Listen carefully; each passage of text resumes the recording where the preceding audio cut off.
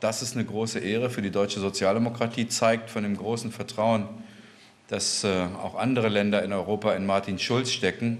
Und wir haben mit ihm erstmals in der Geschichte der Europäischen Union die Chance, den Kommissionspräsidenten direkt aus dem Parlament sozusagen gewählt zu bekommen. Das ist das Neue. Nach den Veränderungen der Verträge wird eben der Kommissionspräsident in Zukunft im Wesentlichen oder kann nicht mehr gegen den Willen des Parlaments äh, ähm, eingesetzt werden. Es, es, kommt raus aus den Hinterzimmern der Staats- und Regierungschefs die Entscheidung und wird auf der Basis von freien und geheimen und gleichen Wahlen in Europa durch das Parlament bestimmt. Für uns Sozialdemokraten in Deutschland die Chance, nach 50 Jahren, nach mehr als 50 Jahren, erstmals wieder einen Deutschen und erstmals überhaupt einen deutschen Sozialdemokraten zum Präsidenten der Europäischen Kommission wählen zu lassen, denn der letzte war vor über 50 Jahren Walter Hallstein. Wir haben uns natürlich auch befasst mit dem Thema Wahlkampf. Wir werden eine besondere Europawahl haben. Ich bin sicher, dass es uns gelingen kann, die Wahlbeteiligung erstmals seit vielen Jahren wieder zu steigern, weil, glaube ich, viele Menschen merken werden, dass Europa im Mittelpunkt auch des deutschen Interesses stehen muss. Wir leben im wahrsten Sinne des Wortes von Europa. Wir sind eine Exportnation, die immer noch einen Großteil ihrer Exporte in die Europäische Union bringt. Nur wenn es Europa gut geht, geht es auch Deutschland gut, sodass wir dieses große Projekt des 20. Jahrhunderts im 21. Jahrhundert verteidigen und auch fortsetzen wollen. Und wie sehr Europa immer noch eine Friedensmacht ist, sieht man auch daran, wie es in Ländern aussieht, in denen Europa keine Rolle spielt, siehe Ukraine in diesen Wochen und Tagen. Deswegen bleibt es auch damit dabei, dass Europas friedensstiftende Wirkung auch in Zukunft ihre Bedeutung haben wird. Wir werden einen engagierten Europawahlkampf führen.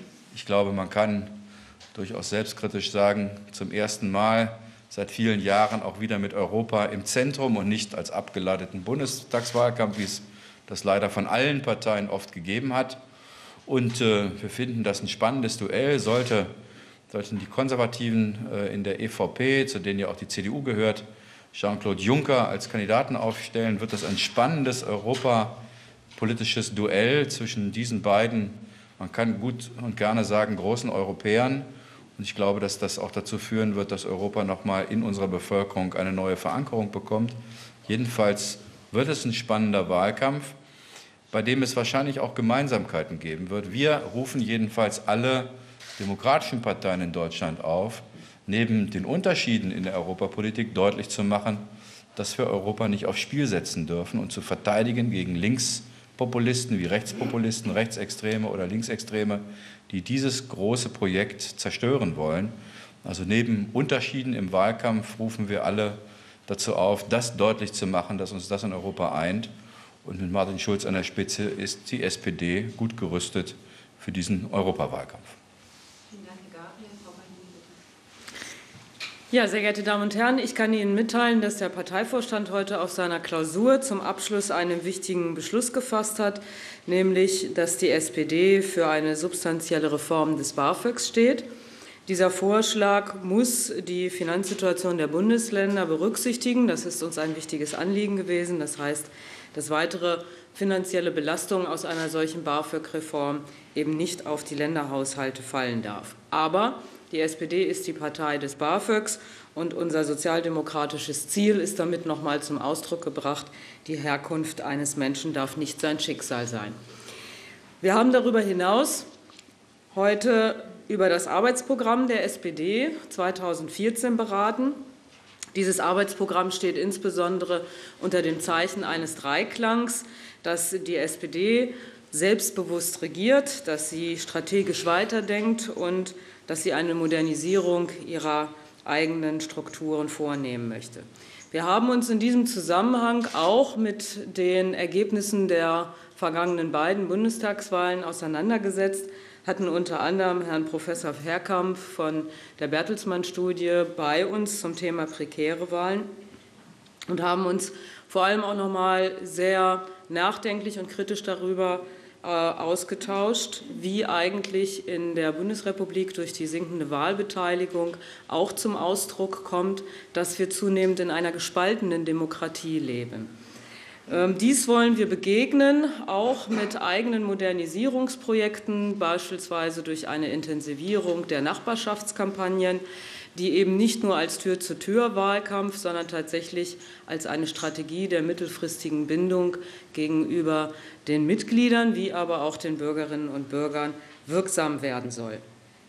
Wir haben und wollen als Sozialdemokratie wieder zur bestimmenden politischen Bewegung der Demokratie und der aktiven Zivilgesellschaft werden. Und dazu gehört unseres Erachtens nach, ich sagte es schon, uns auch als selbstbewusste Regierungspartei äh, zu präsentieren.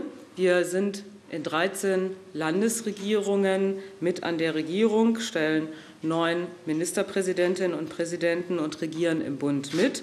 Dies wollen wir auch deutlich machen in eigenen Veranstaltungen, in Veranstaltungen, die SPD regiert und dort von den Kommunen bis über Land und Bund eben nochmal auch unseren, unsere, unsere Verantwortung und unseren Einfluss für die Gestaltung Deutschlands unterstreichen. Dazu gehört aber eben auch, dass wir Mitglieder beteiligen möchten, dass wir die Bürgerdialoge ausbauen wollen und dass wir als Partei eben über die tagesaktuellen Themen hinausdenken wollen. Die SPD ist die treibende Kraft beim Thema Energiewende. Sie ist die treibende Kraft beim Thema Arbeit. Das haben wir deutlich gemacht mit dem bereits auf den Weg gebrachten Rentenpaket. Aber wir werden das mit einer Verbesserung der Allgemeinverbindlichkeitserklärung für Tarifverträge und den Mindestlohn weiter unterstreichen. Wir sind aber auch die Partei der gerechten und offenen Gesellschaft. Wir werden mit Mietpreisbremse, gesetzlicher Frauenquote, der Abschaffung der Optionspflicht für in Deutschland geborene Kinder und der Erhöhung von Investitionen in Bildung, Wissenschaft und Forschung dieses auch noch mal deutlich unterstreichen. Das heißt, die SPD möchte ihr Profil vor allem deutlich machen darin, dass unsere Politik dafür steht, dass wirtschaftlicher Erfolg und soziale Gerechtigkeit miteinander verknüpft werden können und eben hier gemeinsame Perspektiven für die Zukunft auch für die Menschen deutlich und transparent machen. Dazu werden wir ganz konkret am 6. April eine Konferenz durchführen, Gutes Regieren hier in Berlin. Wir werden darüber hinaus ab August diesen Jahres 16 weitere Regionalkonferenzen in den Landesverbänden durchführen und dort uns auch mit den zukünftigen Vorhaben von Regierungspolitik auseinandersetzen. Als weiteres Angebot zum Austausch und Verstetigung unseres Weiterdenkens wollen wir Themenlabore initiieren. In diesen Themenlaboren wollen wir Freiräume schaffen für neue Ideen jenseits eben auch der Sachzwänge der Regierungsarbeit. Es ist auch das Ziel, dass wir in diesen Themenlaboren unsere inneren und äußeren kommunikationsstrategischen Ziele miteinander verbinden, neue Zielgruppen anzusprechen, aber auch breitere gesellschaftliche Themen aufzugreifen. Wir sind der Überzeugung, dass es an vielen Stellen in Deutschland neuer gesellschaftlicher Verabredungen bedarf. Was verstehen wir unter Wohlstand? Wie können wir für die Menschen Stabilität auf der einen Seite und Perspektive auf der anderen Seite schaffen? Beispielsweise beim Thema, wie verbindet sich eigentlich Arbeit und Leben miteinander? Dies ist eine Frage, die eben nicht nur gewerkschaftliche Themen betrifft, sondern die vor allem tief in das konkrete Leben des Einzelnen eingreifen. Wir werden uns hier mit Arbeitszeitfragen ebenso auseinandersetzen wie mit Demografiefragen ähm, und unser Profil schärfen, dass wir die Differenziertheit und Veränderung der Arbeitswelt wie aber auch die individuellen Herausforderungen und Wünschen zur Gestaltung des Lebens gerecht werden. Wir haben auch ein Signal gesetzt, dass die SPD sich mit der digitalen Zukunft Deutschlands auseinandersetzen möchte. Auch hier gilt es deutlich zu machen, dass wir uns als SPD modernisieren wollen. Die Partei ist die Partei der digitalen Öffnung und der lebendigen Kommunikation. Wir möchten aber darüber hinaus auch ein Programm für die, für die digitale Zukunft verabschieden, in der wir Debatten in der wir eine Debatte führen und neue Gesprächsfäden suchen mit nicht nur Gewerkschaften und Wirtschaft, sondern auch mit netzpolitischen Communities, interessierten Bürgerinnen und Bürgern. Zu guter Letzt, natürlich hat die SPD sich vor allem auch damit auseinandergesetzt, wie sie ihre Kernkompetenz weiter verdeutlichen kann, erkennbar machen kann, nämlich schlicht und ergreifend die Partei der Gerechtigkeit zu sein. Das heißt, wir werden uns auch damit auseinandersetzen, wie wir neue Gerechtigkeitsfragen wieder auf die Tagesordnung setzen können. Das betrifft Generationengerechtigkeit, Geschlechtergerechtigkeit, aber eben auch Frage von allgemeiner Teilhabe und Zugängen, beispielsweise auch Zugängen zur Bildung. Dazu werden wir ein breit angelegtes sozialwissenschaftliches Forschungsprojekt initiieren und deren Ergebnisse natürlich auch mit der Öffentlichkeit diskutieren. Auch hier wird es letzten Endes um die Frage gehen, wie wir eine neue gesellschaftliche Verabredung darüber finden können, wie wir eigentlich Ökonomie, Soziales und letzten Endes auch ökologische Verantwortung in Deutschland neu und stabil aufsetzen können. Vielen Dank. Vielen Dank. Gibt es Fragen? Bitte sehr. Ähm, wie wollen Sie denn ganz konkret diesen Spagat schaffen im Europawahlkampf? Einerseits mitregieren, andererseits doch einen Konkurrenten zu haben, einen großen Konkurrenten, die Union, obwohl Sie ja gesagt haben, es wird da auch Gemeinsamkeiten geben. Aber wie soll das konkret funktionieren? Ich glaube, erstens wird es sehr konkret um die Frage gehen, wie schaffen wir eigentlich wieder Perspektiven für Arbeit und Beschäftigung in Europa. Was uns ja nicht reichen kann, ist, dass wir einfach zusehen, wie die soziale Spaltung Europas Dimensionen annimmt, die ungekannt sind und ungeahntes Ausmaß daran haben. Ich meine, wenn man in die Länder Südeuropas fährt, muss man feststellen, dass wir, das Ergebnis der Krise zu einem Europa geführt hat, bei dem äh, die Unterschiede in den Lebensverhältnissen kaum noch nachvollziehbar sind.